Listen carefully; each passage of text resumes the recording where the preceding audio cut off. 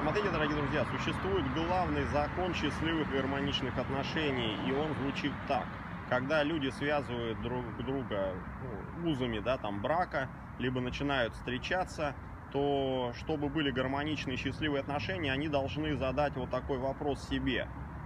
Чем я могу быть полезен этому человеку? Что я могу сделать такого хорошего для этого человека, чтобы его жизнь изменилась и стала намного лучше? Люди, как правило, зачастую связывают э, себя с другим человеком и другого человека с собой, задавая вопрос, чем мне будет полезен этот человек, что он мне сможет дать хорошего, то, что мне нужно. Эти вопросы, они имеют эгоистический характер, когда человек э, пытается требовать от другого что-то. Соответственно, через какое-то время другой человек – начинает это чувствовать, что от него постоянно что-то требуют.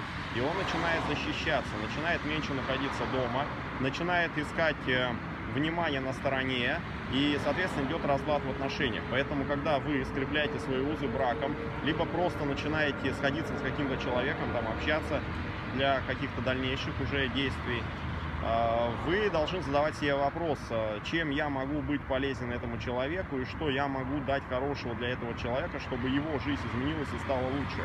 Вот такие вопросы, дорогие друзья, они имеют другую направленность, другие характеристики. То есть вы выходите из разряда себе, себе, себе, вы выходите на разряд отдавания. Это как раз анахата чакра. Но при этом еще важный момент, да, вы не только должны задавать э, себе вопрос, а чем я могу быть полезен этому человеку и как я могу помочь изменить жизнь этому человеку в лучшую сторону, когда мы будем вместе. Вы должны четко понимать, а нужно ли ему, этому человеку, то, что вы хотите ему дать. Возможно, у него другой путь, и то, что вы ему готовы давать, возможно, безвозмездно, ему вообще не нужно. И поэтому здесь нужно понимать, да, что некоторые люди хотят изменить и сделать лучше жизнь других людей, но при этом не понимают, что то, что они хотят им дать, не совсем то, что им нужно. Вот поэтому вы должны разобраться и понять, куда идет человек, в чем его предназначение, какие у него задачи. Если его задачи совпадают с тем, что вы готовы ему дать, вот тогда отношения будут гармоничны. Вот это, дорогие друзья, главный закон гармоничных счастливых отношений. Если было полезно, ставьте лайк. Всем счастливо.